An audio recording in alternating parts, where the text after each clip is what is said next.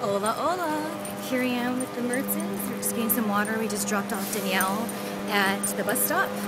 And I'm wearing my pink flamingo shirt again today because why? It's my new favorite shirt, so get used to it, people. But uh, I woke up at 5.30. It is now 6.30. Oh my guys.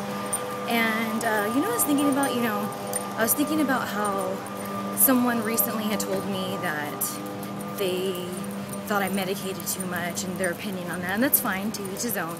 But I just think it's interesting that I typically wake up between 5.30 and 7.30 almost every day, and I take care of business, but this person has a negative association with me and cannabis, so I don't know, I just wanted to throw out, just for my own, uh, at least I got it off my chest, um, fact out there, if you will. So come on, come on Ethel. So today I'm gonna go to the casting agency and go take a new picture. So I haven't been there for a while. And then I'm going to the courthouse to try to get on Mayo again because Mayo is being difficult. See what happens.